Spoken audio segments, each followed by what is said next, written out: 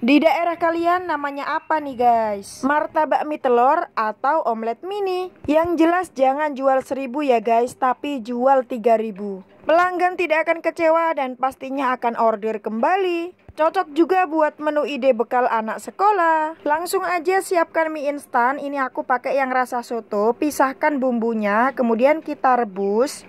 Ini aku rebus bareng dengan satu buah wortel yang udah aku parut atau boleh juga dicincang kasar. Rebus sampai mateng seperti biasa. Kalau udah seperti ini matikan api kompor kemudian tiriskan. Oke lanjut pindahkan ke wadah lain. Tahap selanjutnya masukkan semua bumbu tanpa terkecuali. Jadi bumbunya hanya bumbu mie instan aja ya guys, tanpa bumbu tambahan lagi.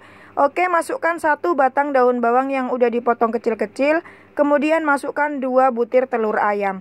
Aduk rata semua bahan ini. Ini cukup mudah banget dan cocok banget buat ide jualan ya guys. Ini udah cukup, lanjut kita ke tahap selanjutnya. Panaskan cetakan sambil dikasih minyak goreng sedikit aja. Ini dibagi rata gitu ya. Kalau teman-teman gak ada cetakan kayak gini, ayo di order ya guys. Buat ide usaha ini banyak banget pokoknya manfaatnya. Oke lanjut setelah minyak panas, kita tata seperti ini. Satu adonan ini jadi 7 pieces aja ya guys, tapi cocok banget satu buahnya dijual dengan harga 3000. Karena hasilnya itu besar dan telurnya itu full banget.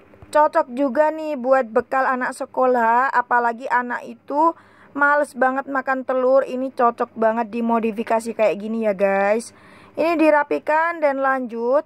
Kita kasih topping sosis nah sosis ini bisa juga diganti dengan ayam suwir atau apa pun ya guys ini kita hias seperti ini, di atasnya kita kasih tiga-tiga. Nah, karena aku itu demen banget pedes, keluarga juga pada suka dengan pedes. Ini aku kasih topping cabai rawit ya. Kalau buat anak-anak mending di skip aja cabenya. Lanjut ini kita balik aja seperti ini, biar di kedua sisi matang semuanya. Setelah ditunggu beberapa menit, ini udah mateng dan balik lagi seperti ini hasilnya ya. Masih di dalam cetakan teflon kayak gini aja udah ngiler banget Karena ini tuh kelihatan enak banget teman-teman. Yuk langsung aja kita pindahkan ke piring dan siap untuk disantap. Orang dewasa aja kalau udah makan ini nggak mau berhenti guys. Apalagi anak-anak pasti suka banget. Nah ini bisa dilihat ya ini tuh full banget telurnya. Kalau mau dijual bisa dikemas di plastik OPP kayak gini dan bisa dikasih stiker. Hayo, gimana menurut kalian? Dijual 3000 cocok gak nih? Bisa dilihat ya guys, ini tuh full sayur telur dan bawang daun enak banget apalagi dicocol pakai saus. Selamat mencoba.